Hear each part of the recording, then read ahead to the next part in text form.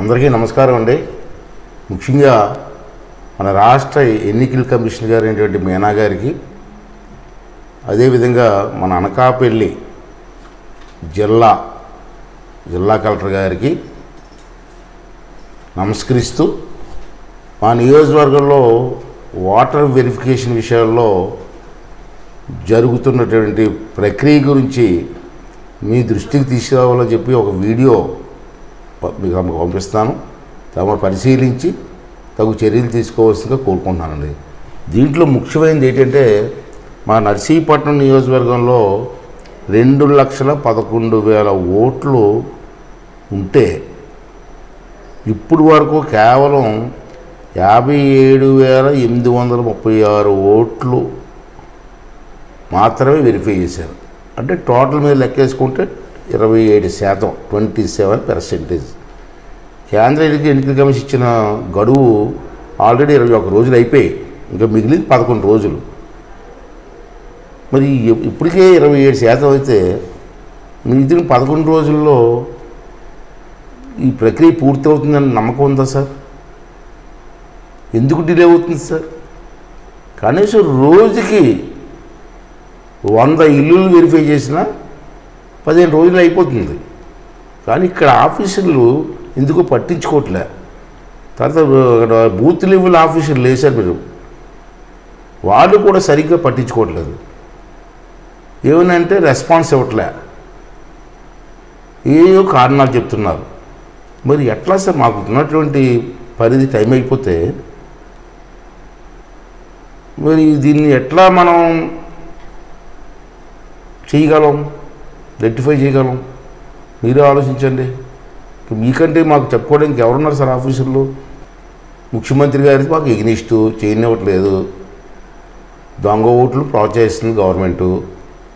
మరి మేము ఏదో మీరు అవకాశం ఇచ్చారని చెప్పి మేము బాధపడుతూ ఉంటే వీళ్ళు ఎవరు మాకు సహకరించట్లే. అంటే ఉదాహరణకి నేను నర్సిపడిన నియోజకవర్గం చెప్తున్నా ఇది నాదే కాదు రాష్ట్రం అంతా ఇదే పరిస్థితుంది. దీని గురించి తప్పుడు ఆలోచించకపోతే చాలా కష్టం సార్. ఎందుకంటే బతికుండగా చంపేస్తున్నారు మమ్మల్ని. మా ఓట్లు లేదనుకోండి అంటే అర్థమేంటి? చచ్చిపోయినోడికే ఓటు ఉండదు. మేము బ్రతికుండగా ఓట్లు తీస్తే ఎట్లా సార్? ఇది పద్ధతి కాదు కదా. సార్ తమ తమలాంటి ఆఫీసర్లు పెద్ద ఆఫీసర్లు దృష్టి పెట్టి మరి మాకు న్యాయం చేస్తారని చెప్పి ఆశిస్తూ మరొక కొన్ని విషయాలు మీ దృష్టి తీసుకొస్తున్నాను సార్ నేను. మాకు నాలుగు మండలాలు ఉన్నాయి సార్. అలాగే ఒక నర్సీపట్నం టౌన్ ఉంది. మీరు చూసుకుంటే గొల్లిగొండ మండలం మండలం ఉంది. అక్కడ నలభై ఒక్క వేల ఐదు వందల యాభై రెండు ఓట్లు ఉన్నాయి సార్. ఇప్పుడు వరకు వెరిఫై చేసినవి కేవలం ఎనిమిది వేల ఐదు వందలు. అంటే ట్వంటీ పర్సెంట్ మాత్రమే. అలాగే నాతవరం మండలం ఉంది సార్. ఇక్కడ యాభై ఒక్క వేల ఆరు వందల నలభై ఎనిమిది ఓట్లు ఉన్నాయి సార్. వెరిఫై చేసిన ఇరవై మూడు వేల రెండు వందల ముప్పై ఆరు. అంటే forty five percent sir. Makarapalem మండలం ఉంది. ఇక్కడ నలభై ఆరు వేల నాలుగు వందల ఎనభై ఎనిమిది ఓట్లు ఉన్నాయి సార్. వెరిఫై చేసినవి కేవలం తొమ్మిది వేల ఆరు వందలు. అంటే ట్వంటీ వన్ పర్సెంట్. నర్సీపట్నం మండలం సార్. ఇరవై మూడు వేల ఐదు వందల అరవై ఐదు ఉన్నాయి సార్. వెరిఫై చేసినవి కేవలం మూడు వేల తొమ్మిది వందలు. అంటే ఓన్లీ సెవెంటీన్ పర్సెంట్. అలాగే నర్సీపట్నం టౌన్ ఉన్నాయండి. నలభై ఏడు వేల తొమ్మిది వందల యాభై ఎనిమిది ఓట్లు ఉన్నాయి సార్. వెరిఫై చేసినవి పన్నెండు వేల ఆరు వందలు మాత్రమే అంటే ట్వంటీ సిక్స్ పర్సెంట్. మరి ఎప్పుడవుతాయి సార్ ఇవన్నీ కూడా? టైం కూడా లేదు. అంచేత తమ దృష్టి పెట్టవలసిన అవసరం ఉంది సార్. ఇంకా కొన్ని బూతులు నెంబర్ ఇస్తాను సార్ మీకు. ఇది మరీ ఘోరం సార్.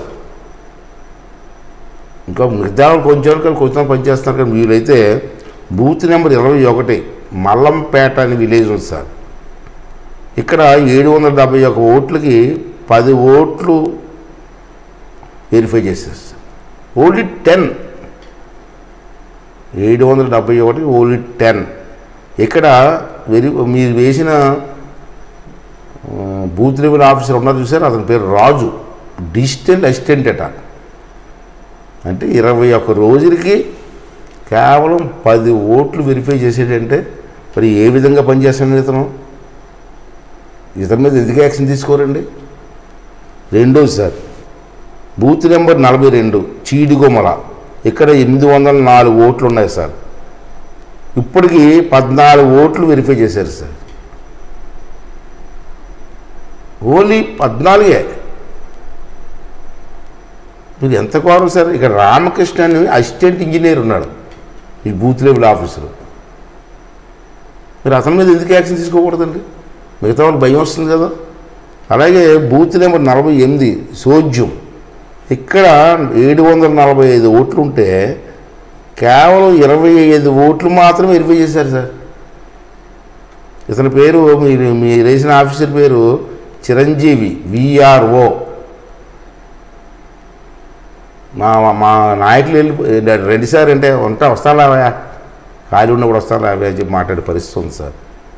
ఎందుకు యాక్షన్ తీసుకోవట్లే అర్థం అవ్వదు అలాగే బూత్ నెంబర్ నూట ఇరవై ఒకటి అమలాపురం. తొమ్మిది వందల అరవై ఆరు ఓట్లు ఉంటే అరవై నాలుగు ఓట్లు మాత్రమే వెరిఫై చేసేసారు ఇక్కడ మీ రేషన్ ఆఫీసర్ పేరు దేవి అట విఆర్ఏ ఆమె కూడా రెక్లెస్ అలాగే బూత్ నెంబర్ నూట ఇరవై నాలుగు మెట్టపాలెం. తొమ్మిది వందల యాభై ఓట్లు. కేవలం అరవై ఎనిమిది ఓట్లు మాత్రమే వెరిఫై చేశారు.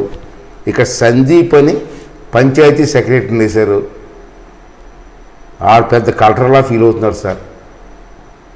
ఆడ మాటలు ఆడ వ్యవహారం. వాడి మీద యాక్షన్ తీసుకున్నారో తెలియదు బూత్ నెంబర్ నూట ముప్పై వేమిలిపూడి తొమ్మిది వందల ఏడు ఓట్లు కేవలం ముప్పై ఎనిమిది ఓట్లు వెరిఫై చేశారు.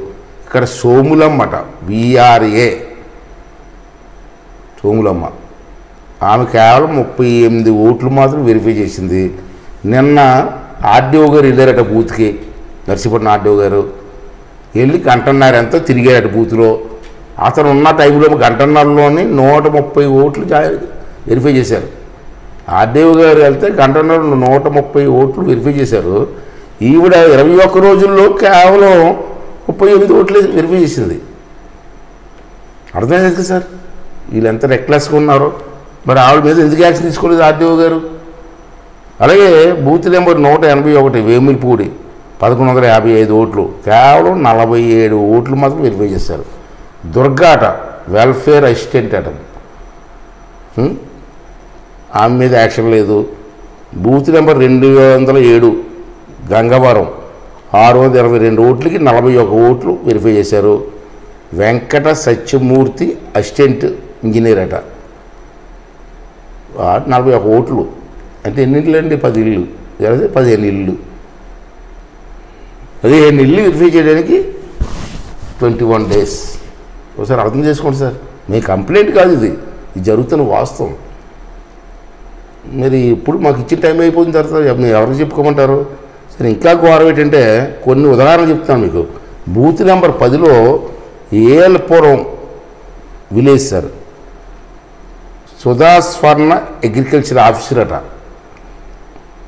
ఆవిడ ఏమంటుందంటే నాకు వ్యవసాయ పనులు చాలా ఎక్కువ ఉన్నాయండి. ఇదే పని అనుకున్నారు మాకు. ఆ పని మీద చూసుకోవద్దా? అని చాలా రెక్లెస్గా సమాధానం చెప్తుందండి ఆవిడ. మరి ఆవిడ ఎందుకు వేశారు సార్? ఎందుకు వేశారు?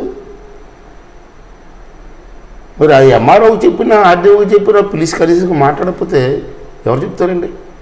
రెండవది రెండోది బూత్ నెంబర్ పంతొమ్మిది గొల్లుకొండ జ్యోతి అటే విఆర్ఏ ఆమె ప్రెగ్నెంట్ అట నేను ప్రెగ్నెంట్ అండి. నేను అలా చేయమంటారండి అంటది.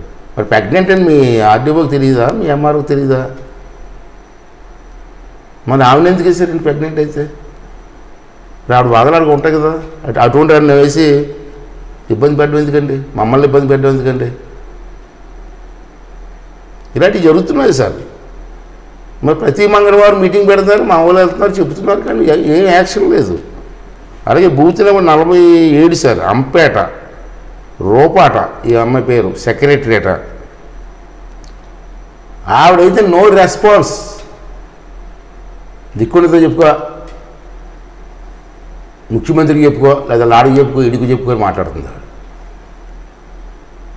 మీరు ఇటువంటి వాళ్ళ మీద యాక్షన్ తీసుకుంటే మిగతా వాళ్ళకి భయం ఉంటుంది కదా సార్? సార్ ఏం చేస్తారో మాకు తెలియదు మాకు రాజ్యాంగం ఇచ్చిన హక్కు ఓటు హక్కు. మా ఓట్లు పోకుండా కాపాడాల్సిన బాధ్యత ఎన్ని- ఎన్నికల కమిషన్గా మీకు ఉంది దాన్ని మీరు తప్పనిసరి చేయండి. ఇంకా చూస్తే ఎన్ని రోజులు ఉంది సార్? మా అయితే పదకొండు రోజులు పది రోజులు ఉంది అంతే. ఈ పది రోజులు ఇప్పుడు వరకు చేయని ఎన్ని పది రోజులు చేయగలరా సార్?